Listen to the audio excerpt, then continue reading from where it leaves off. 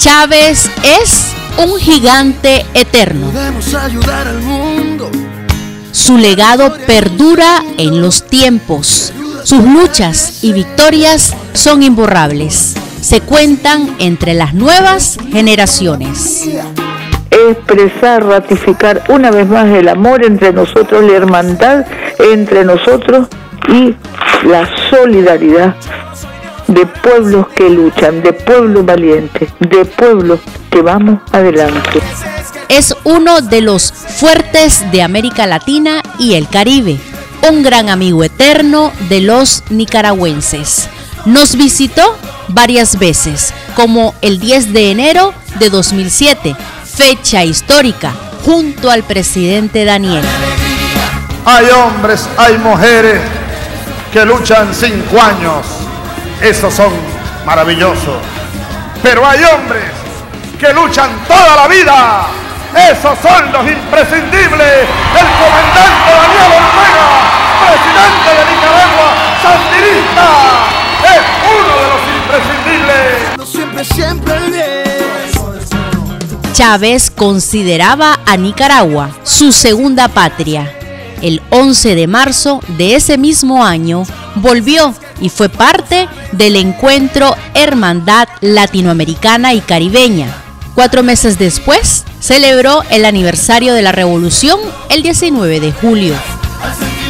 Felicitaciones en este 28 aniversario del histórico triunfo de la revolución sandinista. Por eso venimos a decir con toda la fuerza del alma que viva Sandino, que viva la revolución sandinista. Y ha librado una batalla por la vida de manera integral, porque no solamente se trata de su propia vida, sino que se trata de la vida de su pueblo. Sus escapadas a Nicaragua también le permitieron disfrutar del partido Boer versus San Fernando el 14 de enero de 2008.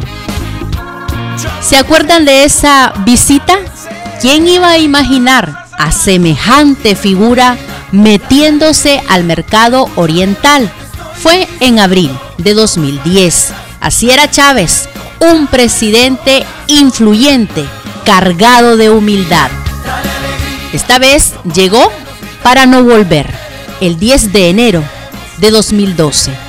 Acompañó la segunda toma de posesión del pueblo presidente. Chávez heredó el ALBA TCP, la valentía antiimperialista y la visión de un mundo justo, socialista y multilateralista.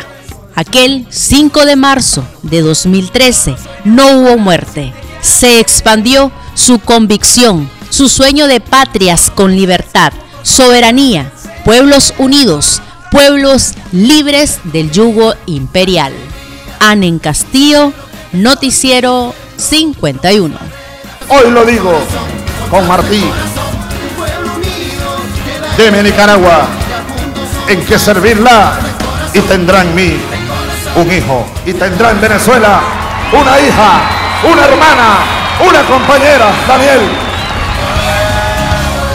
Los que quieran patria.